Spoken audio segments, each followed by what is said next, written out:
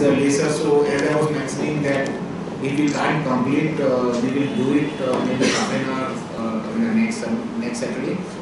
Uh, basically, uh, going to derivatives, there are three characteristics of derivatives, and uh, all these three conditions need to be satisfied together for considering that instrument as a derivative.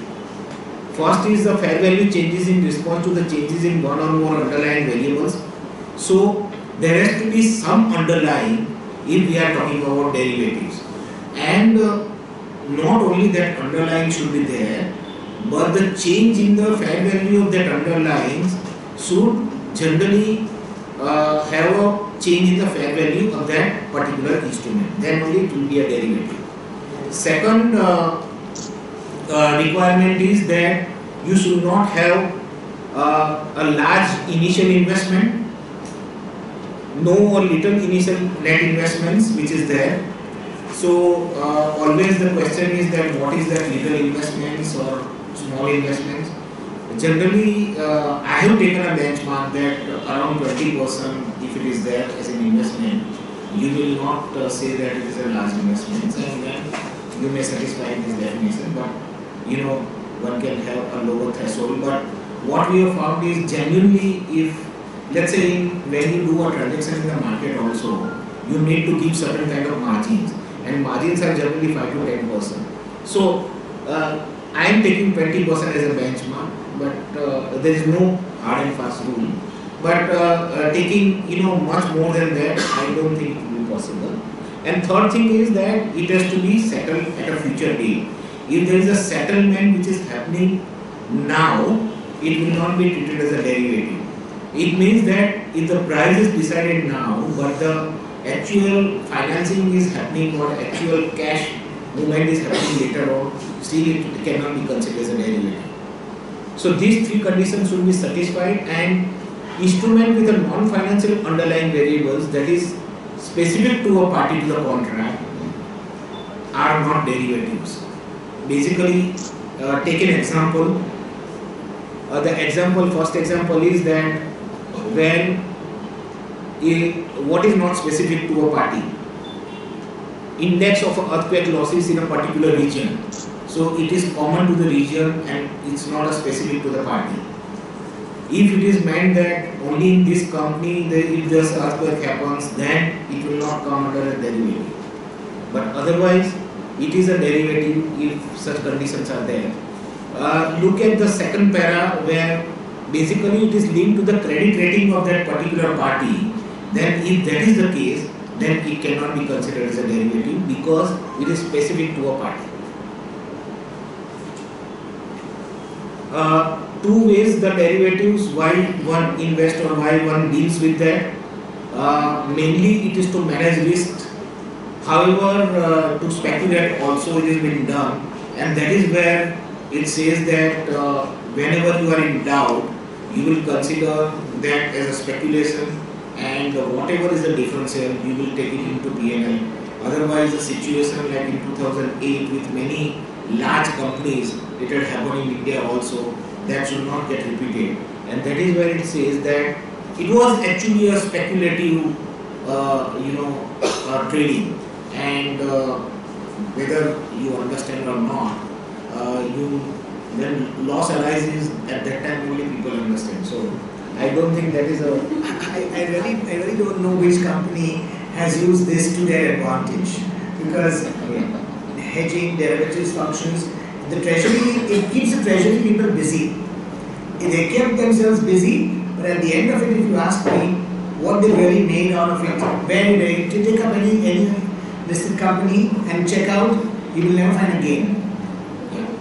And uh, you know, in, in so all these bankers will sell you because they have to earn fees out of it. Second thing is that initially they will show you some profit, but finally, if the circumstances changes substantially, you will end up into losses. Nothing is going to happen to them. So that was the typical situation at that point of time. And uh, uh, you know, there has to be a risk involved. What you are going to, uh, you know, uh, enter into derivative is to manage risk. So there has to be what particular risk is there that you need to identify. So uh, we have discussed this. So let's look at. So these are the kind of risks which are generally getting covered in derivatives, but there can be various other risks which can be there. In a foreign currency forward, there will be foreign exchange rates. Uh, foreign currency options also foreign currency rate will get covered. Uh, interest rate swap will be interest rate, interest rate options, interest rate cross currency, interest rate collar also will be interest rate. Uh, take this example to you know uh, just look at the uh, principles behind it. Company X, a rupee functional currency entity, sells product in the US. The sale are denominated in US dollars. Company X enters into a contract with an investment to bank, uh, investment bank to convert US dollars to rupee at a fixed exchange rate.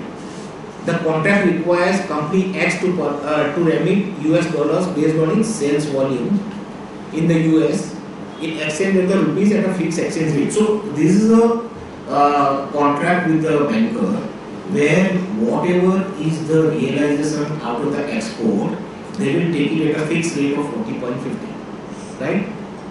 So what are the underlines? There are two underlines because the amount of sales is not known that is also one of the underlying. And second underlying is uh, obviously the exchange rate. Okay. The contract does not have any specific notional amount or a fixed payment provision. So it is open that, but definitely when such type of contract happens, one will see the past history and one will look at it that maximum it can be at this rate or minimum it can be this rate. On that basis the contracts are entered. But it still uh, the definition of a derivative. So, if there is no notional amount involved, still one can say that it is a derivative, provided there is underlying which is clearly defined, right? Because here there are two underlying, the notional amount is not there. Generally, otherwise you will have a notional amount. Uh,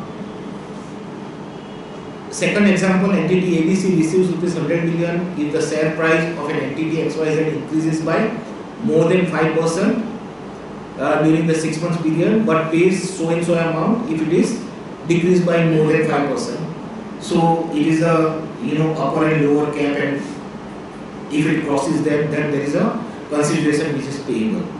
So underlying is still in this case is the share price, right? uh, notional amount is not there because it is just saying that uh, percentage of up and down and settlement calculation is a payment provision which determines the settlement amount. In this case whether it is a derivative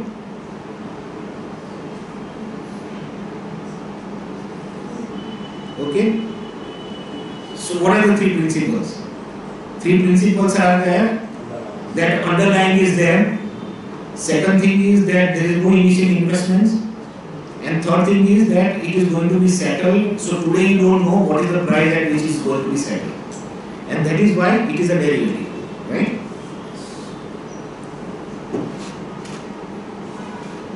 Third one is XYZ enters into an interest rate swap that requires XYZ to pay a fixed rate of interest and receives a variable rate of interest. The fixed interest rate is 7.5% while the variable interest rate is a three months LIBOR. Generally that happens reset on a quarterly basis. The notional amount of the swap is 100 million.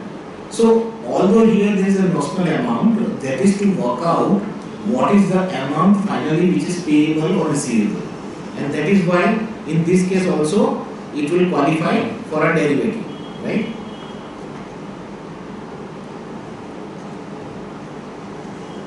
So this is important initial net investment. If the option premium is so deep in the money that the premium paid is close to making an investment in the underlying, then the option contract will fail to meet the criteria.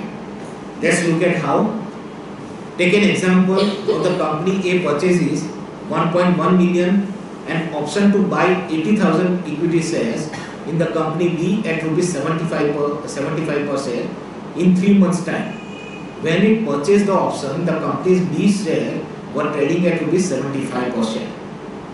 So initial investment is 1.1 million compared to cost to buy upfront is coming to 5.6 million.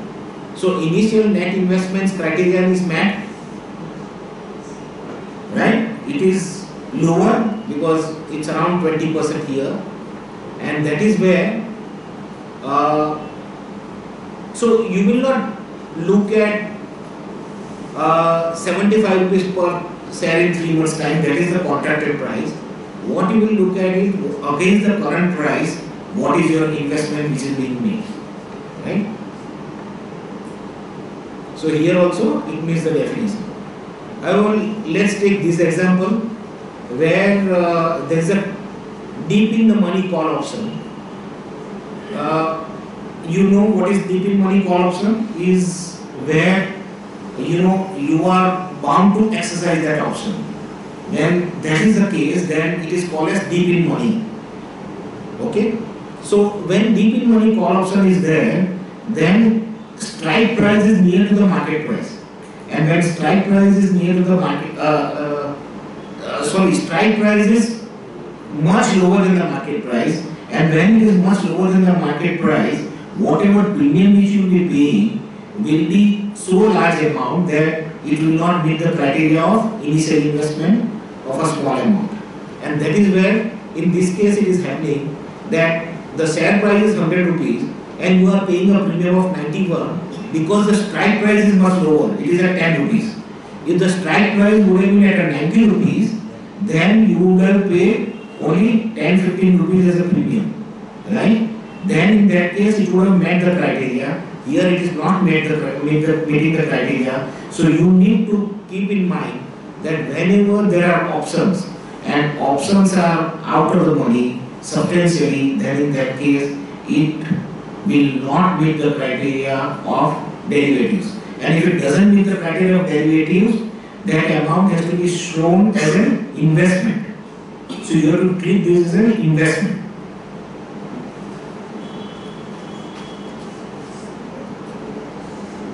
X enters into a three-year currency swap with Bank Z at inception when a sterling euro exchange rate is 1.5. The swap results in entity X paying bank 100 million and the bank Z paying entity 150 million euros. So basically the different currencies are there, but what you need to see is the net investment which you are making. You are getting something and which you are paying something, and more or less it is nullifying that in that case your net investment is still nothing. And that is what it says that because net investment is on a net basis nothing, and that is why it will be treated as a derivative. In this case, entity X enters into a 8-year pay, uh, pay fix at 7% and receives LIBOR interest rate swap uh, on currency 100 million. It repays the fixed rate at the inception. The amount it pays is calculated at as 7 million. Okay, uh, which is nothing but 100 million at the rate of 7%, right? And discounted at the market rates. If that is there, because it is paying only 7 million against the 100 million of underlying, it will be still treated as a derivative.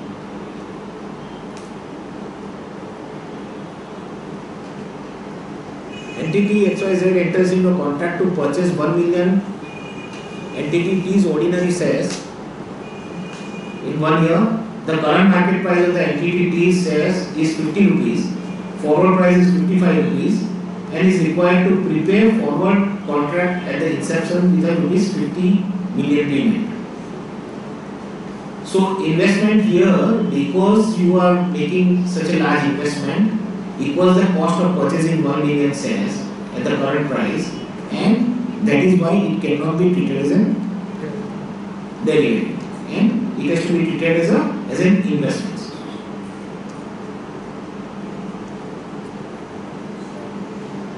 So this is another uh, uh, important thing which needs to be kept in mind when you are talking about derivatives. That non-derivative contracts to be combined for accounting when they are entered into at the same time and in contemplation of each other have the same counterparty and relates to the same type of risk. And there is no apparent economic need or substantive business purpose for structuring the transaction in a similar way. So uh, what it says is that you can combine two type of transactions and then whether you will see whether it is a derivative or not. A makes a five year fixed, so there are two transactions here. Fixed rate loan, entity A gives to B and entity B gives a variable rate of loan to A with the same amount, with the same principal amount. If that is the case, you need to combine this transaction and what is happening is basically you are entering into interest rate swap between fixed to floating. Okay, so although there is a money exchange and there is an initial investment for each contract, you will combine the contract and then say that still it is a derivative. Okay, if anybody has any uh, uh, uh, question, it can be asked. Sorry. Yeah. No, so both sides are paying which is getting nullified and then your investment is zero, right?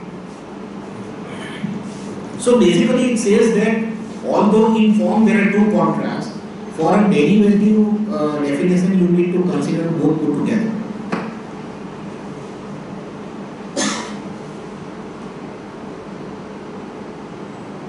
So uh, another thing is that Ind AS 109 should be applied to a contract to buy and sell a non-financial items that can be settled net in cash, either in cash or other financial with an exception of contracts that are entered into and continue to be held for the purpose of receipt or delivery of non-financial items in accordance with the entity's expected purchase, sale or usage requirement.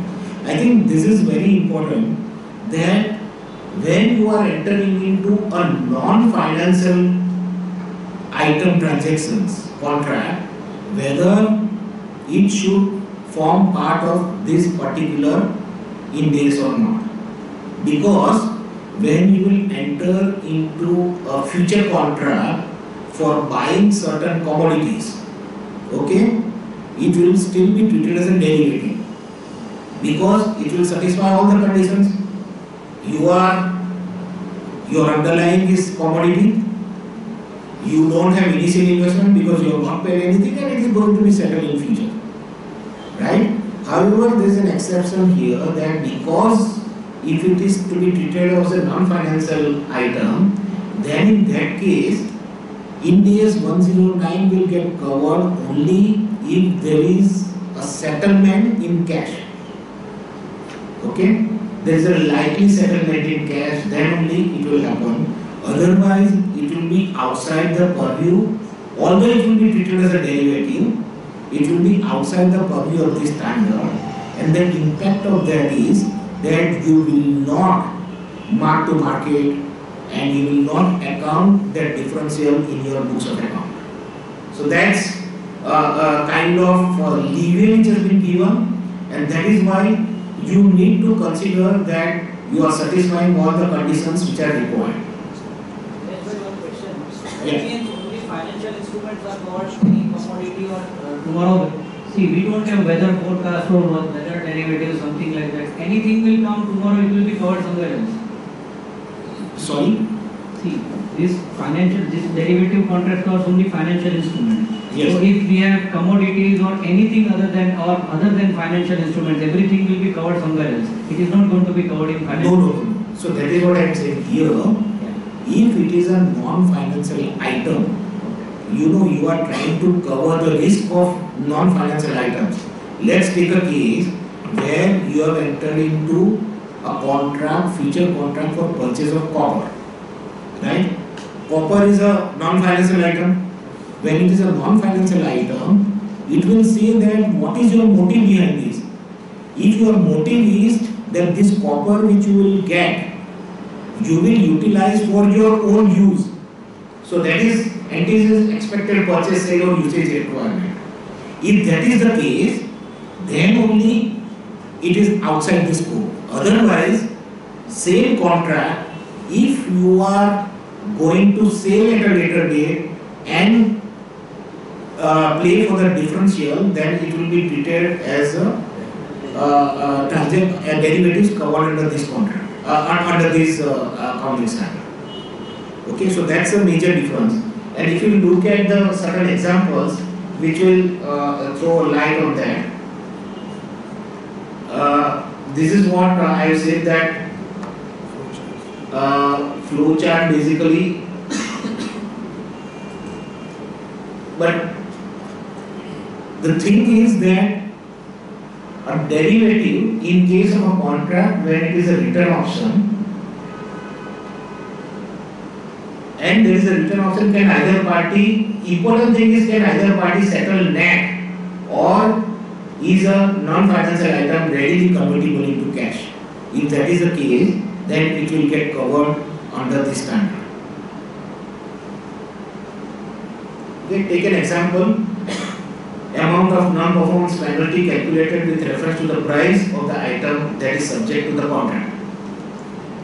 Entity A enters into a forward purchase agreement with entity B to buy 100 units of a commodity at 1 rupee per unit.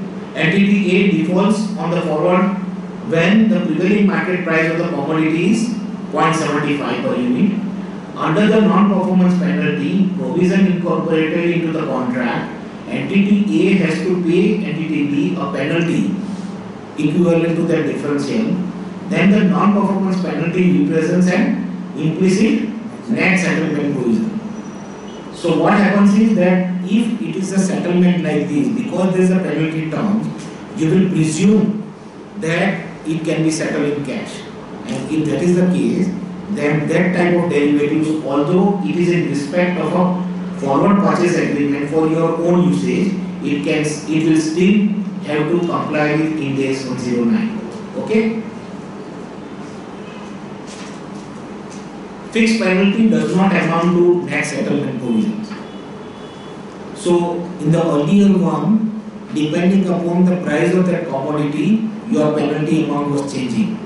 Here, whatever is your price movement, your penalty amount is a fixed amount and if that is a fixed amount, then maybe for the inconvenience which may have been caused or for, for any other reasons and if that is the case, then it will not fall into the category of this standard. Right? Understood?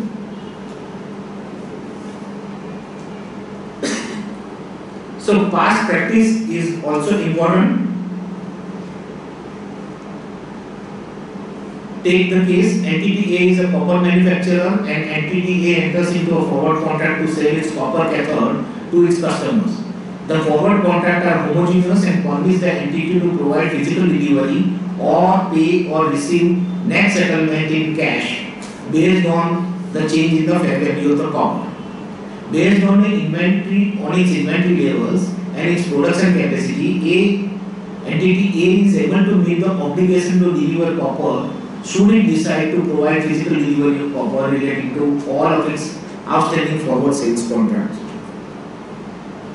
The management which will always claim that the intention is entering into the forward sales contract is for the purpose of delivery of the copper in accordance with the sales requirement. Historically, entity A has a practice of net selling a portion of a similar forward contracts provided the contracts are in the money. So when it is in the money, it means that when you are going to have a gain if you cancel that contract or when you will settle the contract, then you will take that cash. And otherwise, if there is a loss, you will not take the cash but you will take the delivery. If that is the condition, it will have to go through this standard. You cannot have exemption for not accounting for the manufacturing. Now, why people do this is that when there is a loss, people up till now are saying that it will form part of your of my purchase cost. And when it will become a part of the purchase cost, I will take my inventory valuation on the basis of that. So there will not be any impact on PNL. Only impact on PNL will come when you will utilize that particular item. So that is what people in Indian GAAP are doing. Now it will not be allowed.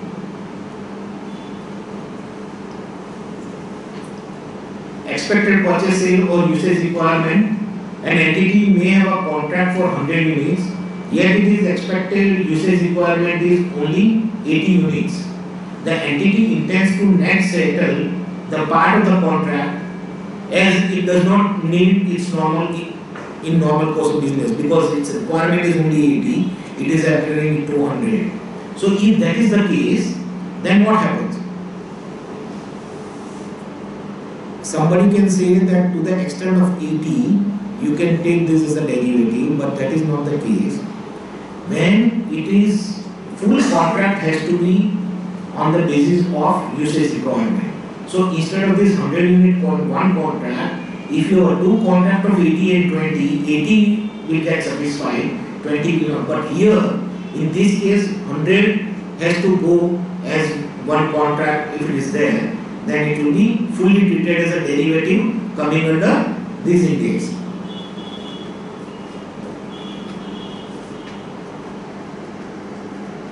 Okay. So basically, this is a classification of derivatives. As a principle, the derivatives can be held for trading, or you can say as a, for speculation, or it can be used for hedging purpose. But one fundamental principle is that derivatives will always be mark to market. So in the balance sheet, position will be based on the mark to market. So it will be always fair value has to be considered. If it is for a hedging instrument, then it can be fair value hedge. In case of a fair value hedge, we will uh, come to that later on. But what I want to depict here is that any change in the fair value can go to P&L or it can go to the equity. It means it will go to the reserves and then afterwards it will flow to the P&L. But in hedging that is possible. In held for trading that is not possible and it will always go into P&L. If you look at what was the earlier what was announced by uh, that if such derivatives are there, gain you should not account, but loss you should account. You are aware about that, right? On that basis, people were accounting for the loss. When Ind AS comes, the so-called prudence will not have any uh, uh, uh, any stand here, and that is why whether it is gain or loss, you need to account for that in P&L.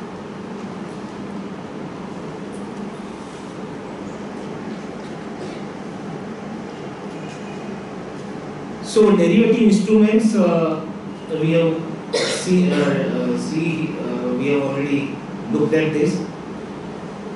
Uh, the main challenge is when there is an embedded derivatives, how to separate that and whether it requires a separation or not. Okay? Embedded derivatives is what? That there is a hybrid contract, hybrid instruments, which has some portion of a derivative, but there is a host contract which will not be of a derivative nature. Right? So we find lot of such cases where it is embedded derivatives. The question is how to separate them and whether it requires a separation or not. Here, take an example of the host contract where it can be a date contract, where it can be equity contract, sale contract, insurance contract, purchase contract, whatever. But there can be embedded derivatives by way of a forward forex uh, risk, by way of inflation factor, conversion option, leverage features, commodity index, equity index features. If all that is there, that inside portion is nothing but a derivative which is inbuilt into this contract. Okay, if you look at, uh, let's take an example of the sale contract uh, for the export. Sale contract in the export, you feel that what is there? There cannot be any derivatives. But because it is a sale contract of export, it is not in your uh, functional currency, and that is where there is an involvement of the forex. Okay, to that extent of a forex, you are in a way entering into a derivative for the forex, right? Because it is at the fixed rate of exchange. So as I was mentioning, the challenge is to identify embedded derivatives and should the embedded derivatives be accounted separately from the host contract. Contracts that are denominated in currencies other than a functional currency of the contracting entities, for example, entity T, a UK entity whose functional currency is sterling, enters into a contract to sell on non-financial item in the US dollars.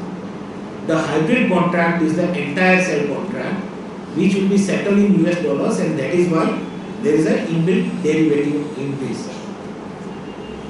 Lease with inflation factor also is a derivative because the lease contract says that there is an inflation factor which is to be considered so that inflation portion can be considered as a derivative.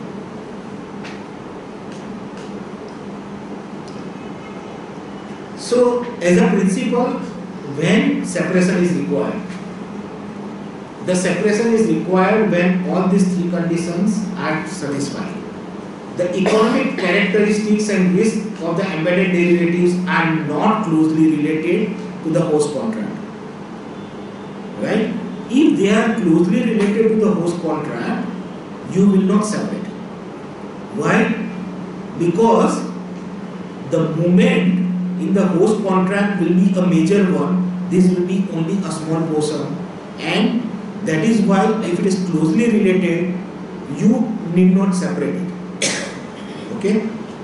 And when you need not separate it generally you will take that full contract as a part of fair value through P&L that will come later on. But when it is not closely related then only embedded derivative needs to be separated a separate instrument with the same terms as the embedded derivatives would meet the definition of a derivative a separate instrument with the same terms as the embedded derivative. Okay? And the hybrid instrument is not measured at fair value with changes in the fair value recognized in P&L. So, if you will look at this, is the first thing which you need to identify is this hybrid contract measured at a fair value through P&L? If that is the case, see why it needs to be separated.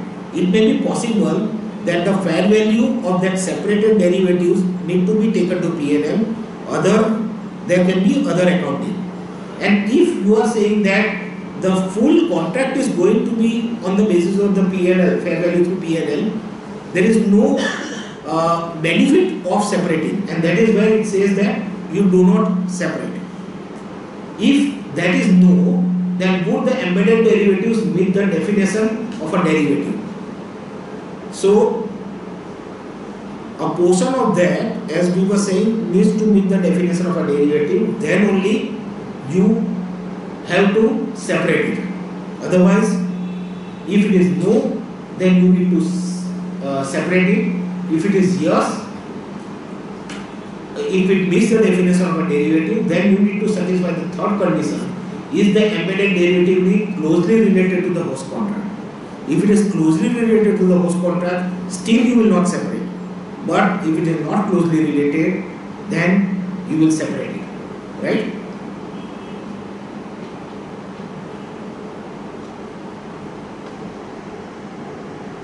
And uh, uh, when you will not separate, one more condition is that if required to be separated but unable to measure the derivative, the fair value, fair value the combined so it says that it is as per this standard it is required to be separated but is unable to measure that particular derivative. Then in that case you need to consider the full at a fair value through PNL. Right? So combined contract you have to treat it at a fair value.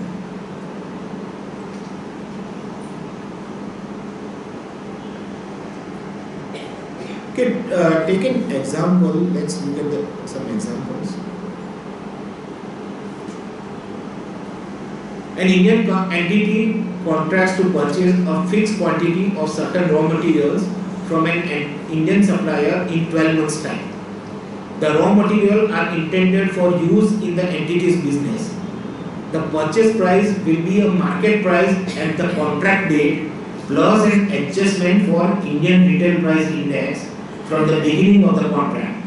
The contract does not contain any leverage feature.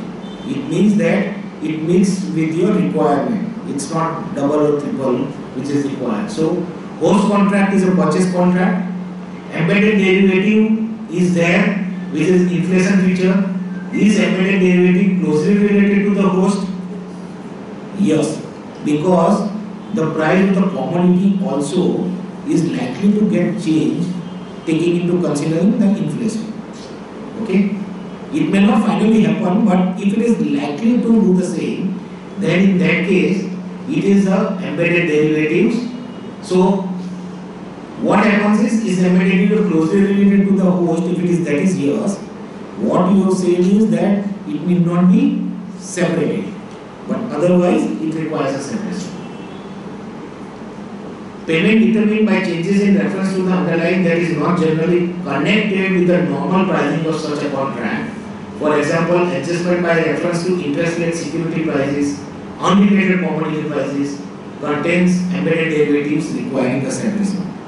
So, you need to look at whether the price is likely to change with that particular uh, uh, uh, indication or not. And if that is not the case, if there are unrelated commodity prices uh, which is linked to that, so price will change, but still then it has to be separated. An entity enters into a coal purchase contract that includes a, uh, a clause that links the price of the coal to a pricing formula based on the prevailing electricity price at the date of delivery. The entity purchases the coal for its own use, so all other conditions are satisfied. The thing is that it is linked to certain un- unrelated to the host contract. The host contract is for the purchase of coal and generally there is no correlation between the electricity price and the coal price. So there may be a case where electricity price, if it forms the major portion of the cost, then you can say that it is related to the host contract.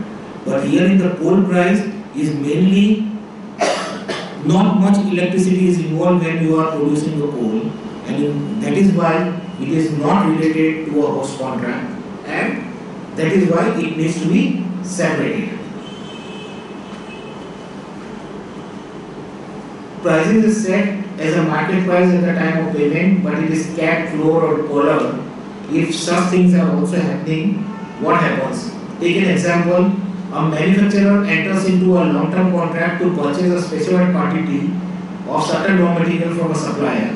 Under the contract, the supplier will provide the material at the least price at the delivery date, but within the specified range. For example, the purchase price may not exceed 20 per kg or fall below 15 per kg. The current price, list price at the inception of the contract is 18. So there is basically a collar of the price between the 15 to 20 range. Okay. So from the manufacturer's perspective, the host contract is a purchase contract. Embedded derivatives is the purchase call option with a strike price of 20 and return put option with a strike price of 15. So that then an embedded derivative is closely related to the host. Because it is closely related to the host, you will not separate. But otherwise, if it is not closely related, you need to separate these options. Options will be considered as a derivative.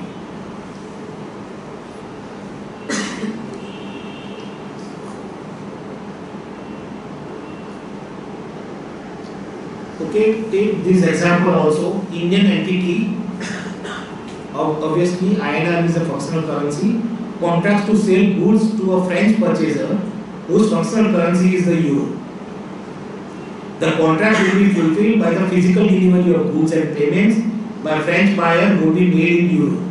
Host contracts is a sale contract denominated in INR. Embedded derivatives is a foreign currency swap or a forward contract to sell INR and purchase euro.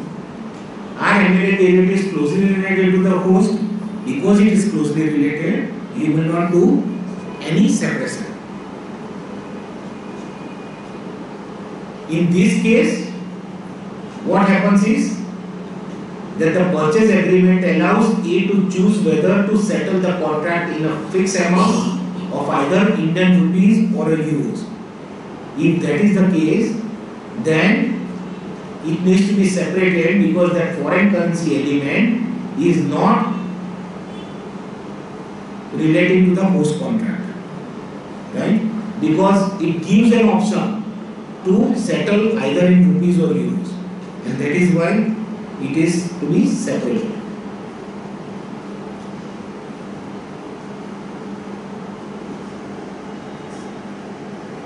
Here there is the same contract, embedded derivatives is foreign currency derivatives, and embedded derivatives closely related to the host. Not in this case, why?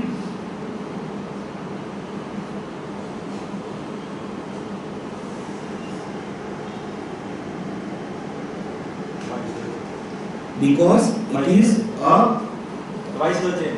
It is twice, so it is a leverage contract.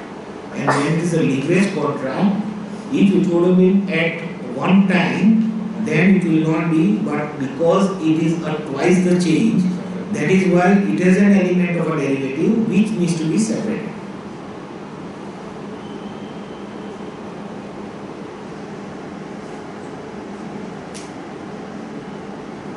The leverage foreign exchange provisions that states that the parties in addition to the provision of a payment for oil will exchange an amount equal to the fluctuation in exchange rate of the USD and INR applied to a notional amount. So notional amount when it is there which may not be linked to that purchase value then in that case there is an embedded derivative not closely related and it needs to be separated.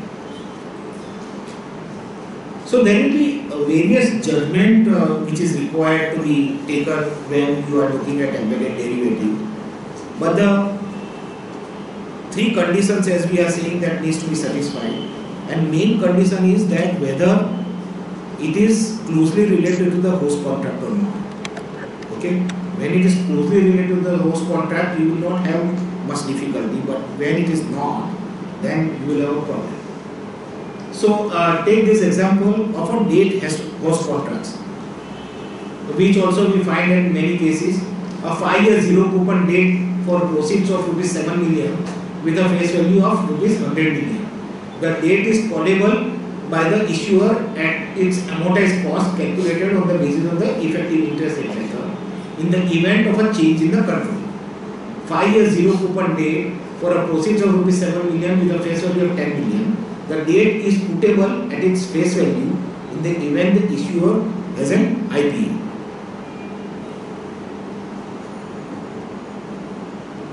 Term extending features not closely related unless there is a concurrent adjustment to the approximate current market rate of interest at the time of extension. So, what happens in these two cases? When it is purchased at an amortized cost, it is related to that because you are finally purchasing at an amortized cost. So you need not separate, but in the second one, when it is putable at its face value, then there is a different pricing which is involved and that is where it needs to be separated and it is linked to the IPO uh, coming into account. So not related to the host contract. So term extending features not closely related unless there is a concurrent adjustment to the approximate current market rate for interest.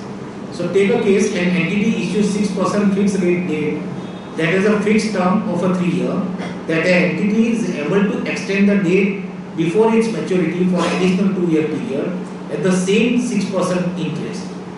Okay. Term extending option is an embedded derivative requiring separation. Right? Why? Because the current rate is a 6% for a 3 year period and if you are giving an option to extend further the life of that particular loan it will be as if that at point of at that point of time if interest rate is 8% then still you will get a loan of 6% so there is a derivative which is involved in that and maybe some price would have been paid or adjusted in that uh, uh, somewhere and that is where it needs to be separated. And when uh, this derivatives will get separated, that derivatives will get accounted as mark to market through PNL. Right? Generally it is like that. And when that derivatives also will get accounted on that basis,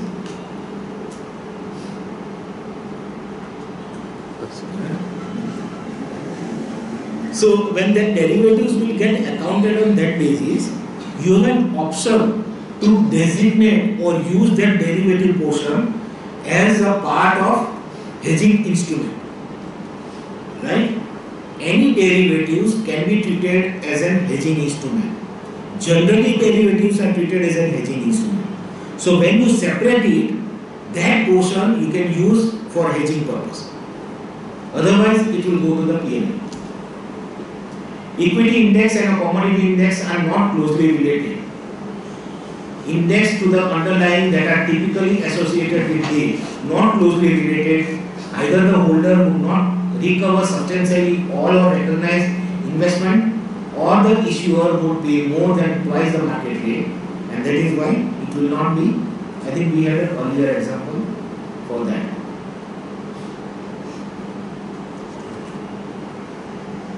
Take this example, entity X issues 10 year note with no stated coupon.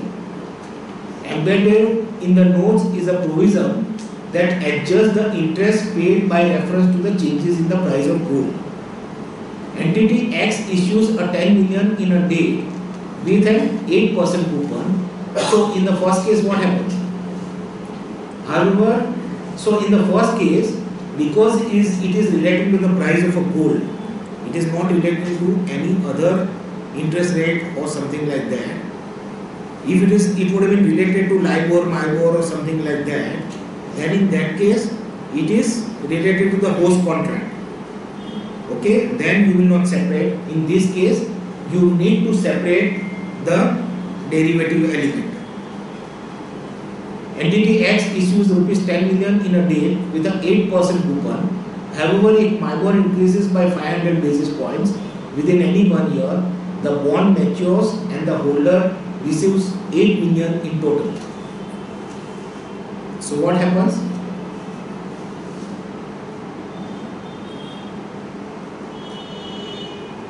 It is linked to a, a MIBOR, but it is not directly linked to MIBOR when it increases by 500 basis point there is some threshold which is there and it is like a speculation on MIBOR which is linked to this host contract and then it requires a separation because the holder will forego 2 million if that happens and that is why it needs to be separated.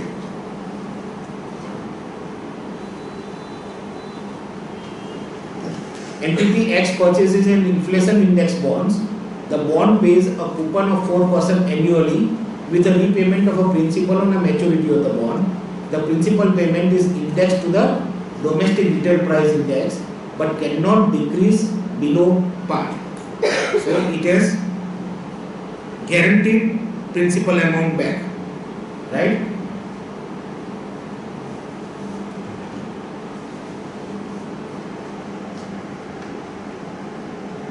So it says that if domestic retail price goes down substantially, still you will get your principal amount. But if it is going up, then it is 4% annually, the bond pays a coupon rate of 4% with a repayment of principal on maturity of the bond. The principal payment is indexed to a domestic retail price index but cannot decrease below par. So if that is the case, then in that case it is linked. Okay? And then you need not separate this.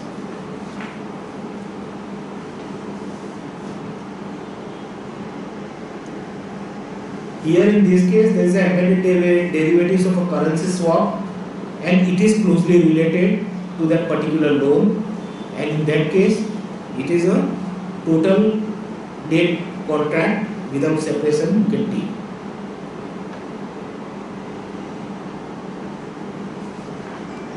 Embedded de- foreign currency derivative with the foreign currency option needs to be separated. In the previous one, what was there? It was the future, so it was inbuilt into the loan. Here, if there is an option, it involves a derivative to be separated.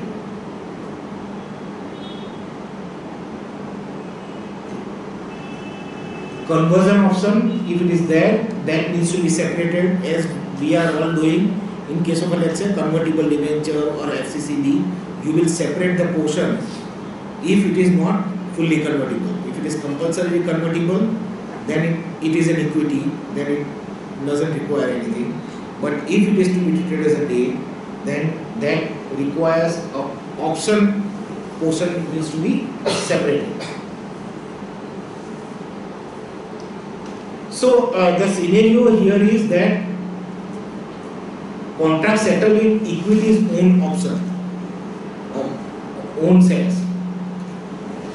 What has to be kept in mind is that if it is a fixed to fix option or to be settled, settlement to be made in shares, own shares, then only it can be treated as an equity. In all other conditions, it needs to be treated as a financial liability, right? So fixed variable and all that only in a fourth scenario where I was mentioning that it is in a not in your own currency, but if it is the fixed amount at which it will get converted, then it will be treated. Otherwise, it is a financial liability. Accounting for embedded derivatives, it's measured at a fair value with changes in the fair value accounted through P&L only, right? Host contract. So what happens is host contracts needs uh, ca- carrying value how you need to work out. If you have a consideration paid or received you need to reduce the fair value of the embedded derivatives. That then will be treated as a host contract carrying value. So because you have two elements when you are working out host contract carrying value, you can separate fair value of the derivative and the consideration which is there in that contract. The difference will be treated as a host contract carrying value, right? Quoted price is the best evidence of a fair value. In the absence of such price, valuation techniques are used. If the embedded derivative's fair value is not reliably determinable, then fair value of the embedded derivatives is equal to fair value of a hybrid contract minus host contract fair value. So basically it says that even if you have one of the fair value, either of the host contract or the derivative portion, you can say that balance is for that other contract. That is what basically it says. But if it can't be separated, if, if you are unable to find a fair value either of the host contract or the derivative contract, then it can't be separated. Then you need to treat that as a part of the same contract. But you need to remember that when you will do that, you need to take the full contract fair value into your P&L. Then you can't say that I will take something as a part of amortized cost. If you are unable to separate it, and then you need to treat that full contract at fair value through P&L. So that's important uh, element here.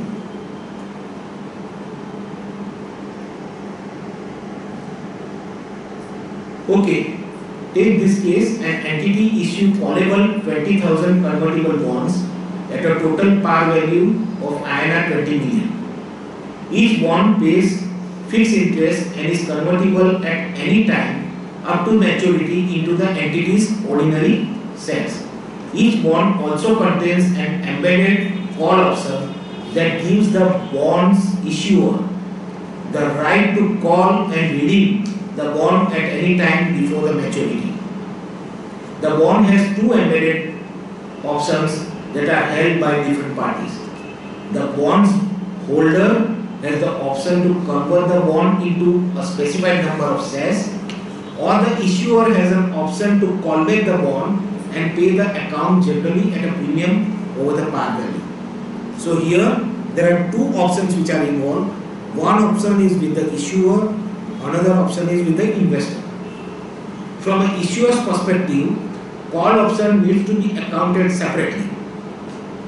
Unless the option exercise price is approximately equals to the amortized cost of the host debt instruments. Generally, it will not happen. Also, conversion option needs to be evaluated separately. Right? So here it says that that call option of the which is lying with the issuer, you need to separate that, and then work out what is the host contract. Well, uh, host contract accounting. Followed? Any question?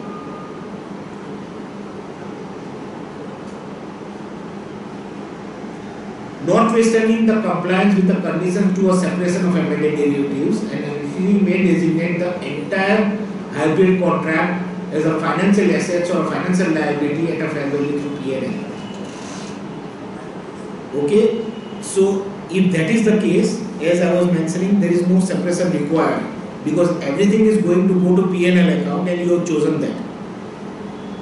But it will, it cannot happen if embedded derivatives is closed, uh, uh, embedded derivatives not significantly modify the cash flow that otherwise would be required by the contract or it is clear with little or no analysis when a similar hybrid instrument is first considered that separation is prohibited right? So in a special circumstances only it will not allow it needs to be separated but in a general term if any financial asset or a financial liability on a totality basis if you are taking into P&L there is no separation which is required. Okay? So let's now move to the hedge accounting.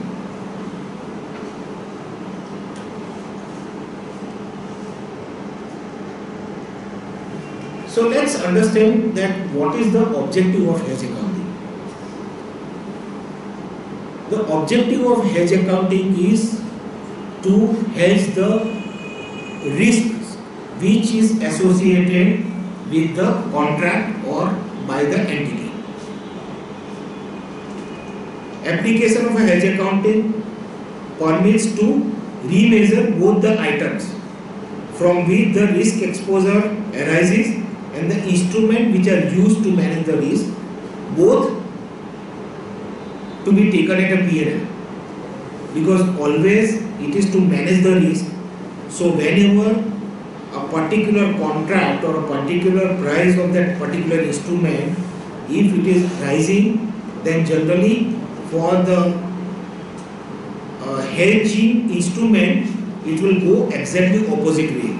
And if it go, goes into P&L, it matches into the P&L. And that is where you will not have finally very high amount which is sitting in your P&L. Or it allows you to defer the recognition into the profit or loss of certain gains or losses on derivatives by recognizing them into OCI. So that's another important thing that in certain circumstances, although there is a fair value movement, that fair value movement will not go into OCI. In certain circumstances, it will not go to OCI, uh, it, it, it will not go to PNL temporarily. Later on, it will go to OCI. But to some extent, it can remain as OCI depending upon what is the hedge item and what is the accounting of the hedge item. Right? So if the accounting of the if the hedge item itself fair value is not going to go to the profit and loss. Take an example of the equity instruments which are held as FVOCI, right? So you have selected that that fair value will not touch my PNL, it will always go through other comprehensive income. Now, if you have a hedging of that particular equity instrument, if that differential goes into the PNL at any point of time, it affects, it, it doesn't serve the purpose of hedging, right?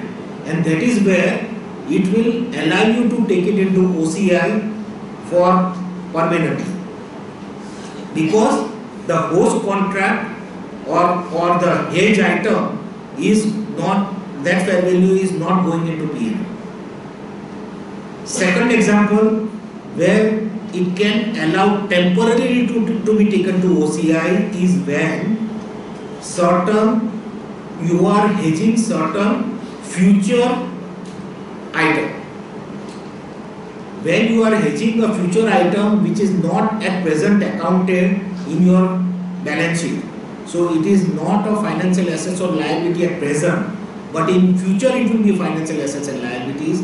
And if you are trying to hedge that future probable transaction, highly probable transaction, then in that case, temporarily it will allow you to take it into OCI. When that transaction actually happens, at that point of time, it will flow to your PNL. I think that is what is the purpose of hedging that a particular item you are going to hedge, you have to go with that in your PNL or it will never come into PNL. So that is the purpose of hedging, accounting. And basically it allows you to solve accounting mismatch in the profit and loss. Okay? You all know what is the accounting mismatch? What is accounting mismatch? Accounting mismatch is that if something is going into the PNL and the reversal of that is going into reserves, that will create accounting mismatch. And then as an exception, it will allow either what is going into PNL to take it into the reserves directly or what is going to the reserves taking into PNL. So that will basically nullify the accounting mismatch. So that is what is the purpose. Hedge accounting is not mandatory. So many of the uh, companies, because there is a strict requirement of having the proper documentation of hedging, you need to also measure the ineffectiveness every time when you close your accounts. That is why many of the companies may not apply the, would not like to apply the hedge accounting. Who will apply generally hedge accounting is when you are trying to hedge your future receivables or your future highly probable transaction or your future commitments. At that time, it will affect otherwise your PNL, right? If you are trying to hedge that particular item and if you will say that I will not follow hedge accounting, then that derivatives fair value differential will come to PNL without that actual transaction coming into your PNL. And that is why people who are generally hedging the existing assets or liabilities will say that I am not interested in a hedge accounting because both the differential if it is going to PNL account I am fine. I don't want hedge accounting. I don't want to exercise or make an effort to have the documentation which are required for hedging. Right? If not obtained, all the gain or losses from hedging is to be recognized in the statement of PNL. But on the other side, if the asset and liabilities also is coming into PNL, he is saying I am neutral. Qualifying hedging instruments. So basically, three things are required when you are talking about hedging. There is a hedging instrument which you are using to hedge your risk of the hedge item. So the second element is a hedge item, right? Which risk you are trying to hedge. So that is a hedge item. The instrument which you are using to hedge is a hedging instrument. And then there is a hedging relationship. So you need to have that hedging relationship.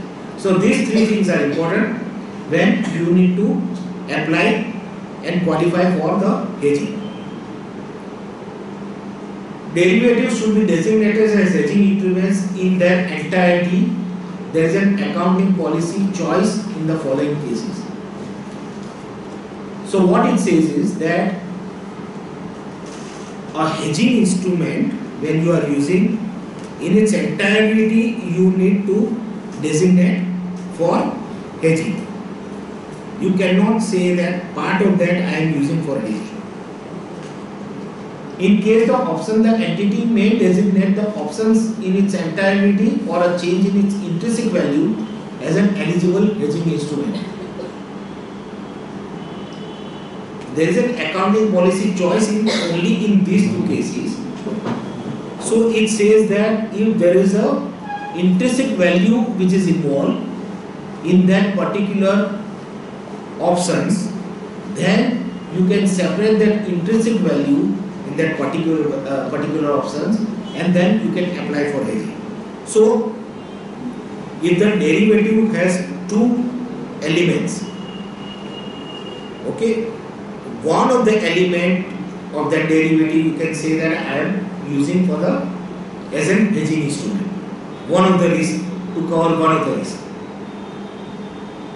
In case the forwards, the entity may designate the forward contracts in an entirety or change the spot element of the forward contract as an eligi- eligible hedging instrument.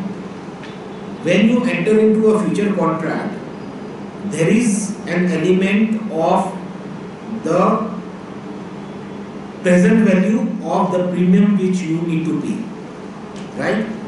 If it is only taking care of the time value of money, you can separate the time value of money and then you say that the balance amount I am treating as an hedging instrument. Right? So that is allowed, but generally people will not distinguish this because time value of money also on the basis of the time period for which it is, it will flow into PNL. So for that small portion, generally people will not separate it.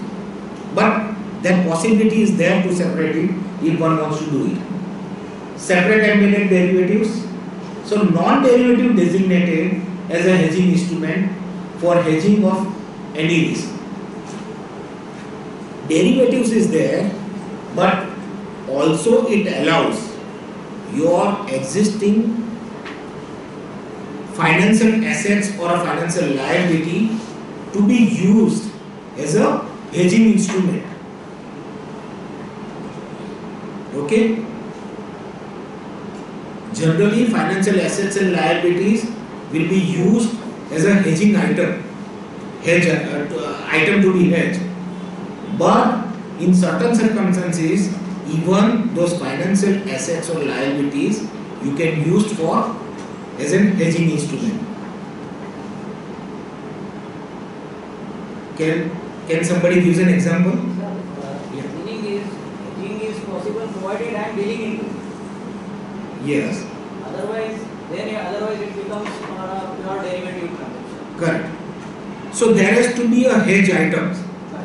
Without hedge item, you cannot have a hedging.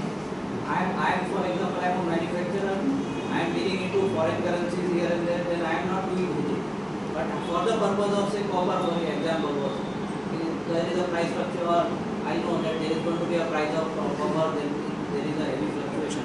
I Correct. buy in futures, I may sell in options, but at the same time it is my raw material. So in that case, it becomes, it can be treated as a hedge. Correct, correct. So, so that is a non-financial item which you are hedging. Okay, so there the accounting is different, but still you are hedging. It is a still a hedging instrument and hedge item is there. But when you are entering into a contract later on for purchase of copper at a particular price, okay, what you are trying to do is you are trying to hedge your future, right? So it is a hedging, however the accounting will be different, And Here in this case, uh, when you will use a commodity price linked investment can be used as a hedging instrument against purchase of commodity. that is what I think is exactly what you are saying, then you can do that. Take a case of a foreign currency loan. Okay? Foreign currency loan is a basically a financial liability for you, right? Generally, that is a hedge item. So you are saying that my foreign currency loan is there. That is where that is where I am exposed to foreign forex gain or losses, and I would like to hedge that item. I would like to hedge that liability. Generally, it is used as a hedge item, but in a particular case, you can use this as a hedging instrument. How? You will say that my financial liability is there, but I am an exporter and I am in future, I have entered into a contract which matches with the repayment of this liability. I have entered into a contract for sale in future where I am going to get certain dollars which I will use for repayment of this liability. Right? If that is the case, that financial liability you are using as a hedging instrument to hedge your future receivable. Right? So, in those circumstances, your financial liability is a hedging instrument. The advantage of that is that whatever is the fair value differential till the time your sale con- sale transaction happens you will be able to take that differential into your equity and not to your P&L okay? So that's the advantage. And people are doing that. Uh, only the care has to be taken is that when finally if that sale doesn't happen then you have a difficulty and hedge effect ineffectiveness will come at a particular point of time and you will have a huge plus or minus in your P&L. And that is where generally when the people do something like this, uh, they will have a large export order and this liability they will use only partly. So to take care of effectiveness of hedging. Okay, when you will have uh, instrument which is only a lower amount, then all, obviously you will have hedge effectiveness, and that is what people generally do.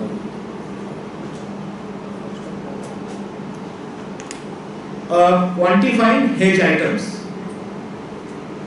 Uh, qualifying hedge items. What are the hedge items which can be there? Recognize asset or liability. Obviously, you can hedge that unrecognized firm commitment, highly probable forecasted transactions, net investment in foreign foreign operations, equity investments which are taking you are taking it through FVOCI, and net position hedging for fair value hedges and a cash flow hedges of a foreign exchange risk. Right? all these can be considered as a qualifying hedge items. The important thing is that unrecognized firm commitment and highly probable forecasted transactions also you can treat as a hedge item. Okay? You can enter into a derivative, you can enter into a derivative to hedge your future firm commitments or your future highly probable forecasted transaction. And if you will see, most of the Indian IT companies used to do this. At present also many of the IT companies are doing that. That they are sure about their future receivables.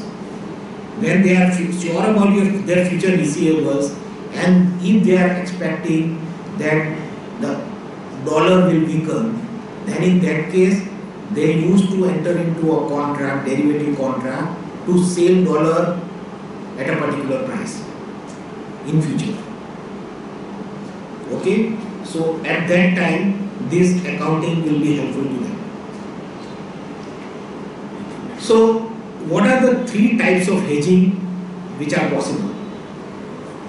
One is the fair value hedge, second is the cash flow hedge, and third one is net investment hedge. Net investment hedge generally will be possible when you have a foreign operations.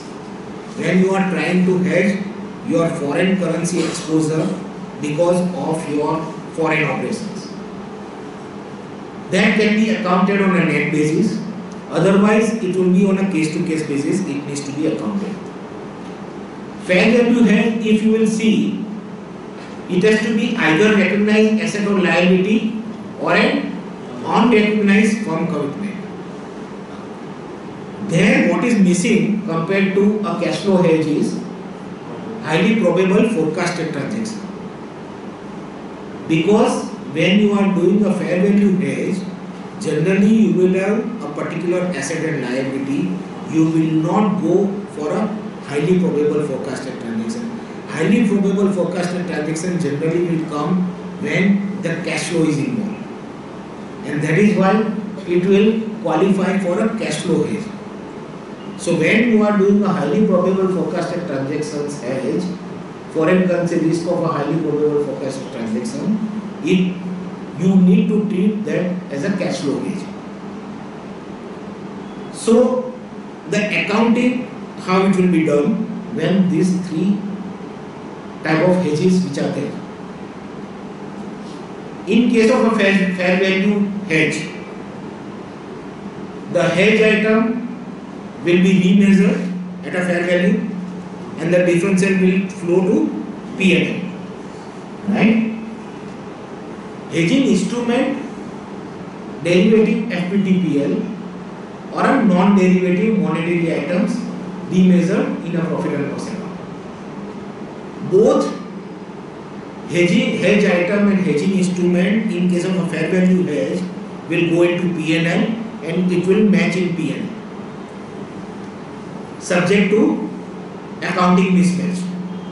If there are accounting mismatch, then only we will have a different accounting. Otherwise, generally in a fair value hedge, both the items will go into P&L. While in case of a cash flow hedge, hedge item will always go as a regular recognition and measurement principle. So if it would have been existing assets and liabilities, then differential will go on the basis of other accounting standards. So if it would have been in foreign currency, you will mark to market and it will go to P&L. But in case of a hedging instrument, whatever fair value change is there, you can temporarily park into reserves. Effective portion of a change in the fair its fair value recognized in OCI and reclassify. So OCI it's not a reserve but it will go into other comprehensive income. And this is the item which will later on flow into PNL. You all know that OCI has two uh, buckets. One bucket is what will flow back to PNL at a later stage and another one is which will never flow back to the PNL. So this will go into the bucket where it will flow back into the PNL. When it will, just one minute. When it will flow back into the PNL? When hedge item affects profit and loss. Okay?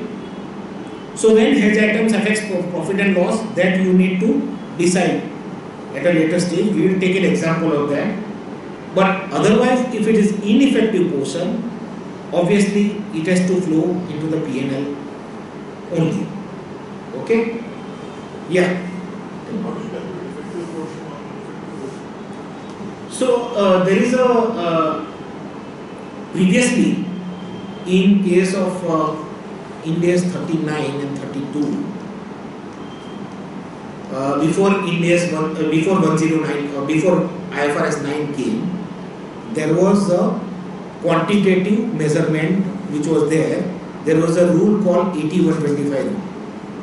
So it says that for measuring the effectiveness, you need to see that the fair value change which happens in the uh, hedging instrument, whether it is in the range of 80 to 125 or not.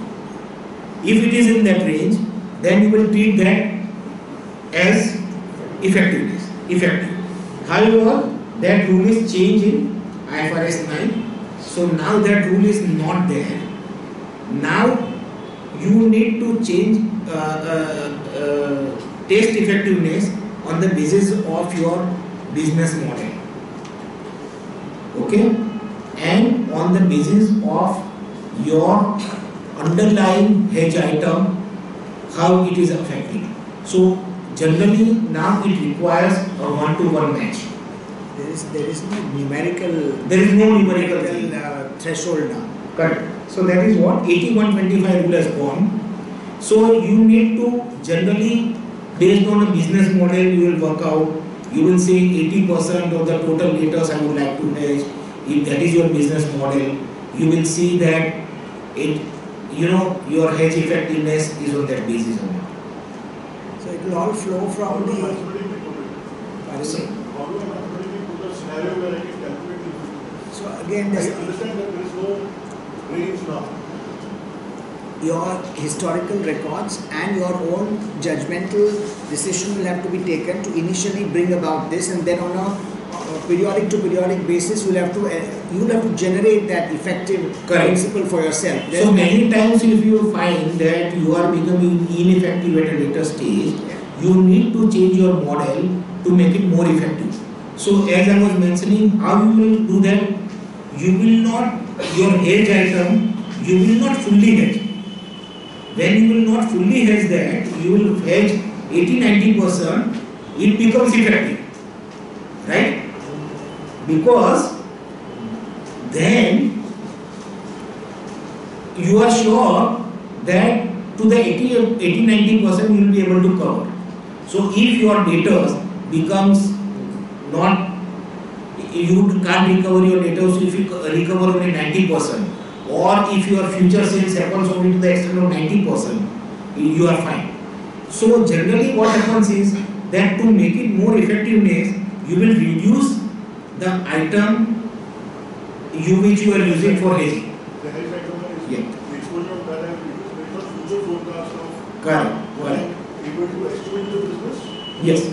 backed by historic performance of whether I'm able to realize 80 to 110 percent Right. kind of and, and this will have to be and this will have to be periodically you know mapped and that Yeah. periodic you decide whether it's a three quarter whether it's a quarter or whether it's a month depending on the dynamism of the business model Correct. So I have to look at the history and say whether in the historic period the business has been effective or ineffective in terms of planning the hedge.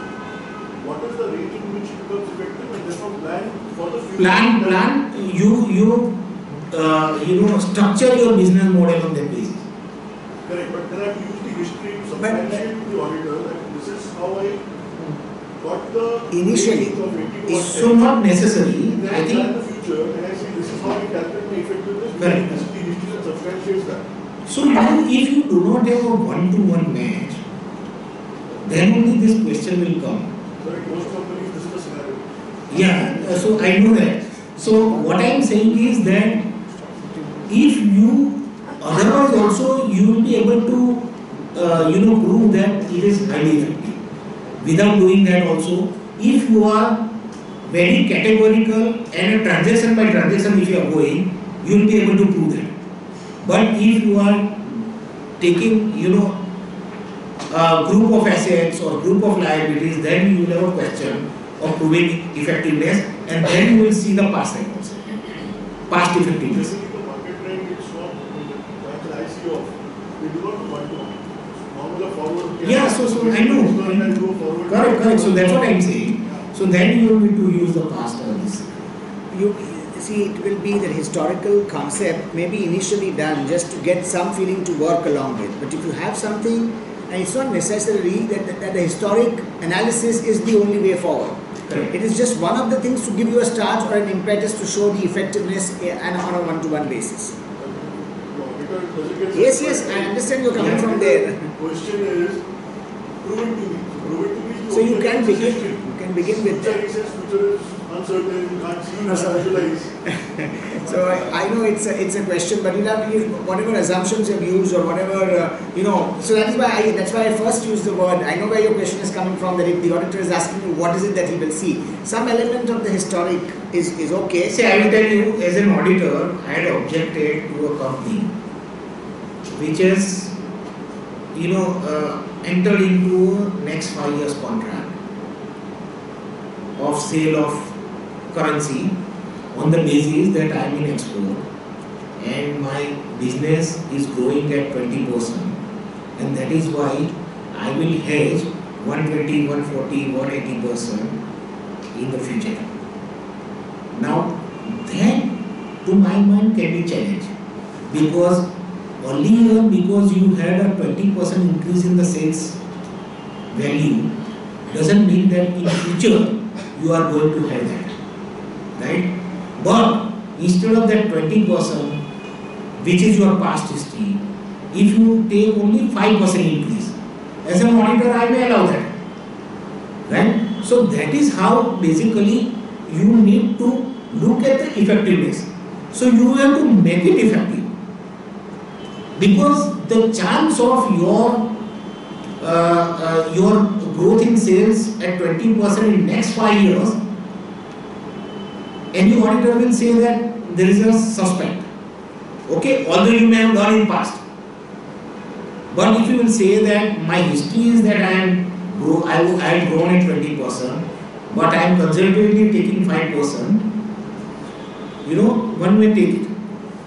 Because there is a change in circumstances. So, in IT, exactly that has happened. In IT, if you look at in three years' time, their growth instead of 20%, it is just uh, no growth. Yeah, or no growth. Or I have a future order substantiates Yeah. reasonable 10 to 12 or 15% growth. So that is not a forecasted transaction. Then that is, if you have a future commitment, if you have a contract in hand, it is, but you know, many times that contract for whatever reason gets cancelled, what happens? He's talking of a big book, but the big book, yeah, you're right. Yeah. Yeah, so I mean, that's how, that's how I build the future, right? Correct. How do I forecast the next three years? Correct. Is. So you would have to be conservative in forecasting and you, if you are in conservative this thing, you will be able to prove effectiveness. But whether effective or ineffective, neither scenario will hit the P&L, right? No, because if you are talking of future probable transactions, it will not hit, PNL. It will go to OCI. That is what I think we were looking at here. Yeah. This one. It will go to OCI till your sales transaction happens. Okay? Now, there is a, some kind of misnomer there. It says that and reclassified to profit and loss when hedge item affects P&L. So, some I take a I take a, uh, a stand that when your sales happens, it will start affecting your P&L because when sales happens, money would not have come. It would have been there as a debtors, and you have to mark to mark your debtors, and that is why it will affect your P&L. So, when sale happens, you flow OCI amount to the, But there are people, there are uh, you know uh, colleagues who takes a stand that when it affects PNL is when actual cash flow happens. Okay? To my mind, although you are doing a hedging, you will be taking certain differential into your PNL incorrectly.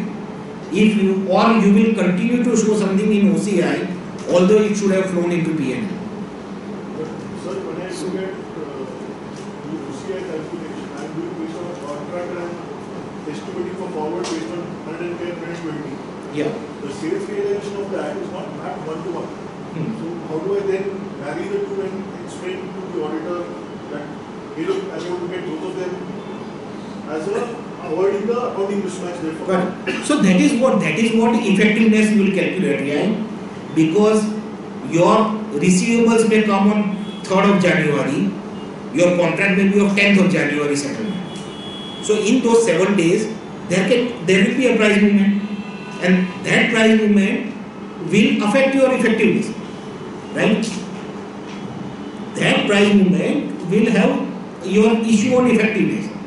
So you need to, that is why generally prove that your sales, let's say in January, February, March, on a monthly basis this is happening and I am entering on a monthly basis this much amount.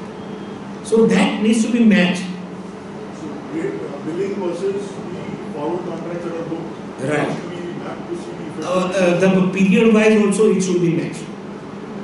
So generally people are taking a period of month, one month to match. But if you have a large transaction and if your auditor still insists then you need to match at a, for a lower period. Because why? Why it is saying is, it will, it will see your past records. And in past it is ineffective, he has a doubt that what you are doing is not hedging. If your past records are clear, then generally it will be allowed. But still it will match effectiveness for each contract or each period.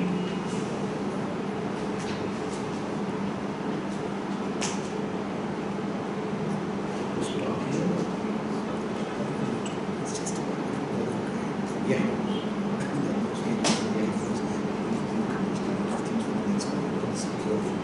Yeah, okay. So, Little, little. If you can bear a little bit, he can finish it because there's too much. We don't want to carry forward. If you are okay. Five minutes. Yeah, sure, sure.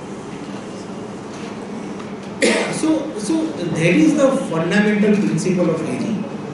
Now, designating, designating hedging relationship and all that, these are all documentation you need to keep to prove that the effectiveness. So as we were mentioning here, identify risk management strategy and objective. That is the model which you need to build.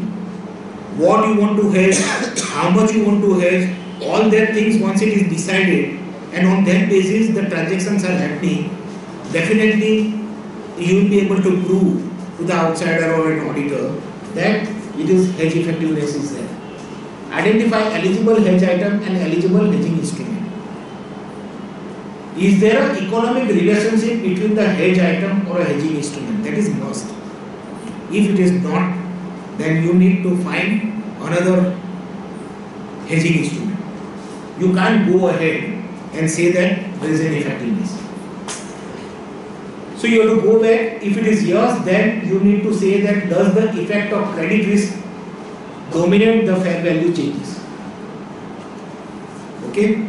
In certain cases, particularly if in a financial services, if there is an impaired assets in a foreign currency, and because of that credit risk dominate the fair value of that particular item, then in that case, you will not be able to prove the effectiveness. Because when you say that my 50% of the money may, may not come because of the credit risk default or credit default then in that case you are not sure that you are doing a hedging. And that is where then you need to go back again identify another hedging instrument which also has an element of a credit risk then only you can go ahead. Base hedge ratio on actual quantities used for risk management. So what is your hedge ratio you would like to keep? So generally if you will keep 1 is to 1 hedge ratio likelihood likelihood of ineffectiveness is there. And where people generally then will keep hedge ratio as 80% or 85% to prove the effectiveness. So that is what we had discussed earlier. Does the hedge ratio, ratio reflect the imbalance that would create an inappropriate hedge effectiveness? If yes to as I was mentioning otherwise formally designate the document and hedging relationship. So you need to designate. That designation at present a lot of people who are doing hedging that designation is not clear and now onwards as a documentation you will require a formal designation it can be as i was mentioning a group of assets group of liabilities can be anything but there has to be a formal way of maintaining a record to prove that what you are hedging what is the hedging instrument you are using and what is the hedge effectiveness. I think that's quite important. Yeah, this is what we cover. Yeah, so there has to be economic relationship. This is a test Yeah, this test has to be. Discontinuing hedging, hedge accounting. Whenever it is a future probable transaction, if that transaction is not going to happen, or not likely to happen, not going to happen, not likely to happen, where the, to my mind, if it becomes less than 50% probable, then in that case, you need to stop the hedge effectiveness. Uh, uh, you, will not be able to prove hedge effectiveness and you no need to stop hedge accounting. Right? The only one thing which I would like to highlight here is that in a cash flow hedge, when your transaction hedging instrument okay is for a particular period and if the transaction has not happened then in that case you can still continue to hold in OCI till the transaction happens right so although you now don't have a hedging relationship hedging instrument is not there that is closed but whatever the differential which has come you can still continue to hold in OCI till the time the transaction happens. Provided that still is the highly probable transaction, which is likely to happen. Otherwise, in all other cases, when the hedging instrument is over or when hedge item is over, it will flow into the PL. Only in cash flow hedge that is possible that if still it is expected to occur, you can still continue to keep it in OCI and later on you can take it in OPM. Right? So discontinue hedging if there is no hedging instrument remaining, there is no hedge item remaining, or there is no effectiveness remaining. In all these cases, you have to take everything to PL except that one as I mentioned. Uh, Ind AS 101 basically says that all derivatives to be measured at fair value at the date of transition to Ind AS. All deferred gain or losses arising on derivative under previous GAAP to be eliminated at the date of transition to Ind AS. Right? And the opening Ind AS balance sheet must not reflect a hedging relationship that does not qualify for hedging hedge accounting under Ind AS. So earlier hedge accounting was there, but it was quite loose. Now there is a lot of things which needs to be proved before you say that this uh, hedge accounting you can follow. And if it doesn't fit into the current standard, then you can't continue there, and then that differential you need to take it into as a transitional provision change. Uh, for a derecognition, an entity has a designated hedge as a hedge, but the hedge does not meet the condition for hedge accounting, then uh, the there is a derecognition earlier slide is there that you need to apply for a derecognition. The transaction entered into before the date of transition to Ind-AS must not be retrospectively designated as hedges.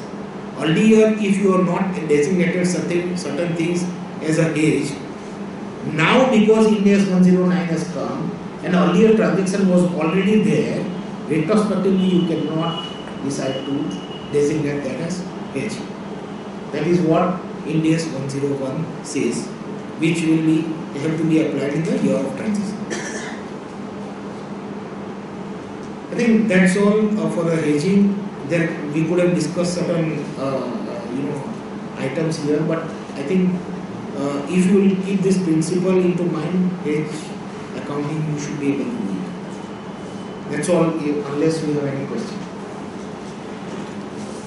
Yeah. In your experience, uh, what kind of companies go for this company? What kind of, you have experience with companies, what will touch hedge accounting, you do equity based hedging. What will your experience? So my experience is that where the uh, controls are not proper or documentations are not proper, then people are not using hedge accounting because they will have a challenge later on when it becomes ineffective and otherwise to prove that uh, you know it is remaining effective. And that is where all the people may be doing a hedge, but most of the time, you know, people will use hedge accounting if they are trying to hedge something which is going to happen in future.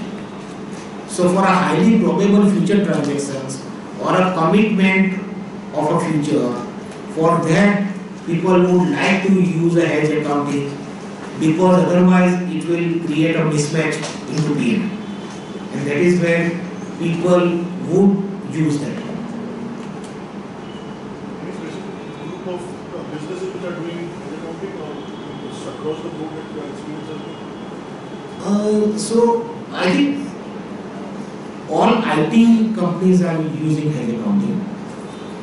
Uh, there are uh, companies which are uh, mainly dependent on the commodity, you know, like uh, oil and gas sector, or uh, you know, there are me- smelting smelters and all that.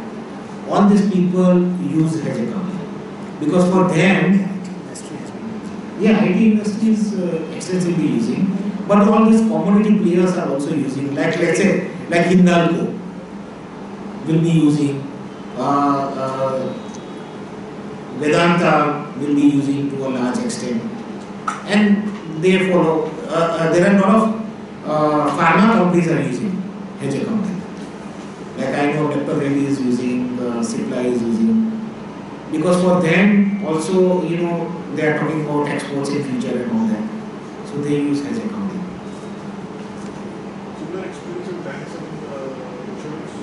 I know India is some way away for them. so uh, uh, see the direction which they are in? see for a uh, banks and insurance company uh,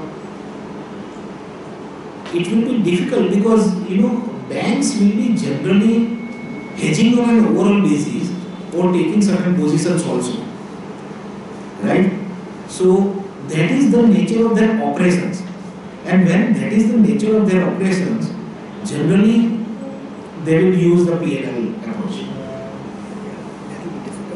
That will be difficult for them. to prove effectiveness and all that thing. So banks are likely to use as a part of the operations into PNL.